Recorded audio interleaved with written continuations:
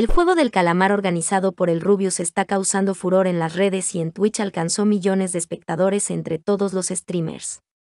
El día de hoy pasó un hecho insólito y es que a los principales streamers de la plataforma y más famosos se les cayó la conexión en pleno juego, por lo que no saben si será descalificados por estar ausentes de las rondas. Hablamos del Rubius, Auronplay, Billin y Tegref. Así lo expresaron en sus redes. Yo entiendo que perder de rabia, pero de ahí a contratar a un grupo de hackers rusos para tirarnos la conexión a los que seguimos vivos. No sé, bro. Ibai, danos un abrazo mejor. Me sabe fatal que haya tantos streamers esperando por nosotros. Seguimos mañana o que nos descalifiquen, yo personalmente entenderé cualquier decisión.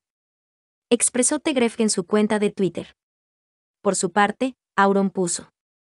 Pues eso, hay problemas de conexión con algunas personas, hay gente que vive a dos minutos de mí y les va perfecto, tiene pinta de ataque. Esperaremos y si no que sigan los juegos, la vida es así. Veremos, con el transcurrir de las horas que se decidirá, si descalificará a Auron, Rubius, Villini y Tegref o que continúen ya que fue un problema ajeno a ellos.